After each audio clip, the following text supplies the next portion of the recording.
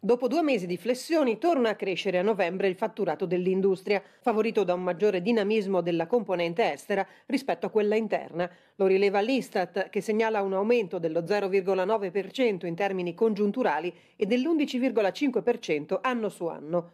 Nel trimestre settembre-novembre 2022 l'indice complessivo è cresciuto dello 0,8% rispetto al trimestre precedente, con riferimento ai raggruppamenti principali di industria, il fatturato segna un aumento del 2,7% per i beni strumentali, dell'1,5% per quelli di consumo, flessione su base mensile per energia e beni intermedi.